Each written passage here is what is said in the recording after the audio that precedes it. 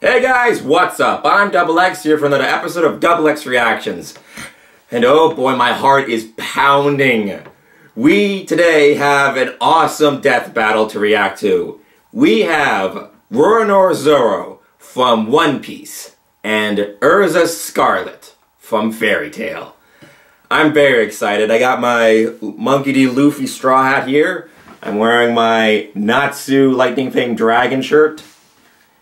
And I am just on edge because we only have five minutes or so left for this video and both I've seen all of the stats from both sides and you know, I do have a personal fixation with Fairy Tail for those who know me or have watched some of my other videos. So I am on Erza's side, but I'm also a little bit rooting for Zoro too because yeah, it's a pretty big matchup with these huge armory and only three swords and these different ho Hakis. And yeah, I'm just really excited. I mean, like, whoever wins, I'll be excited for because I know there's going to be some explosive uh, sword fighting. I can just feel it. okay, moment of truth. Let us watch.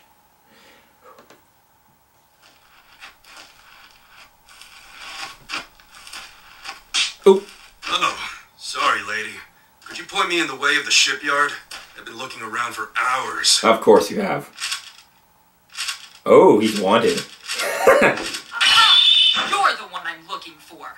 Come peacefully and you won't be harmed. Sorry, I'm busy. Maybe later. Then we'll have to do this the hard way. I told you I'm busy. Oh, here we go. Oh. Well, I guess we're doing this now. Hello. Oh.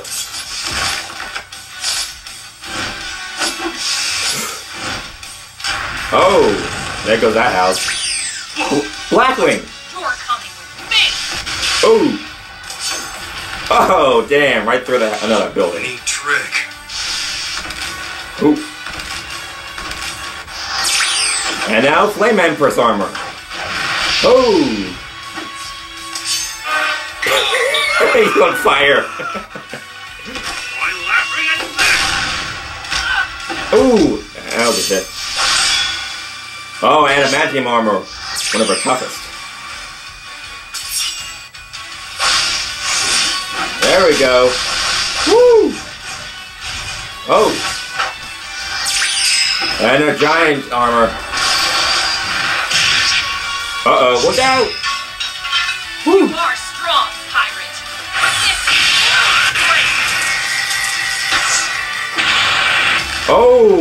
One pound cannon. And that's that. Yeah, that building place. Fool. Nothing is worse than the loss of life. Don't start crying, woman. What? So much for all that strength bullshit, huh? Oh. No. I can do this. All right, Heaven's I Wheel.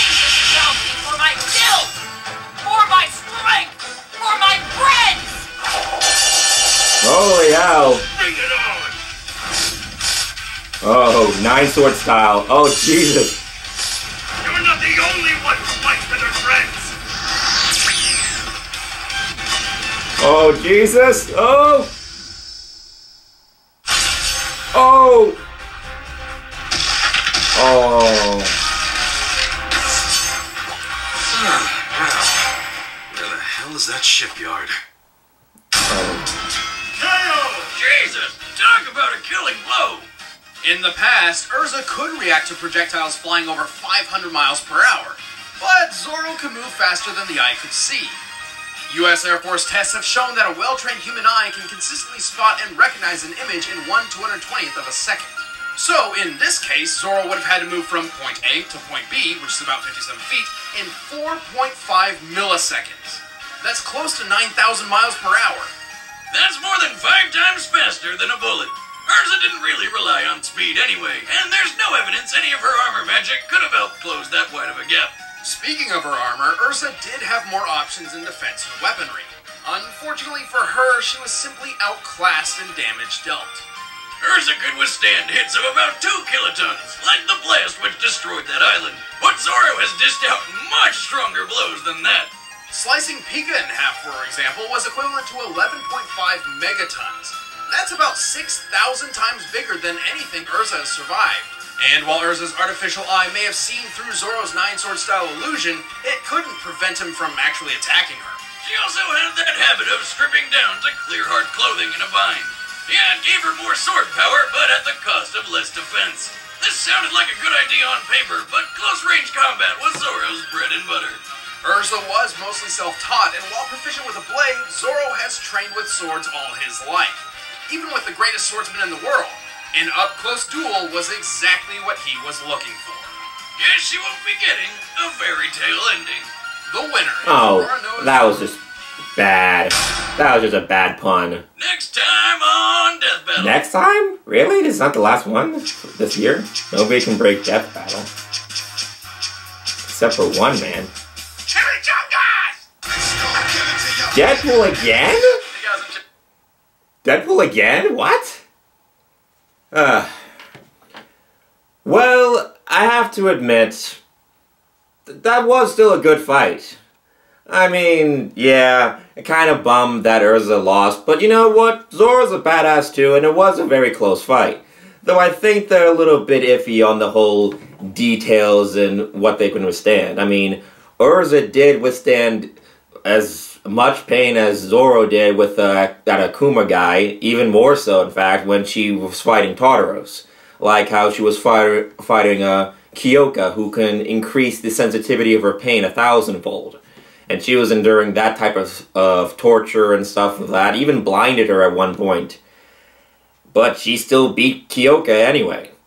Yeah, I, I think sometimes they're a little bit iffy on the whole um, stats and whatnot. But either way, you know, it was still a great fight. You know, can't really complain. It was like, ooh, sliced in half. That's a rough one. But yeah, I think it was pretty fair that these two are, I would say, still closely matched. I wouldn't get too involved in the whole statistics. Still, Erza was awesome. Zoro was awesome. This was an awesome fight. Well, thanks again for watching. As always, I'm Double X, and I will see you next time.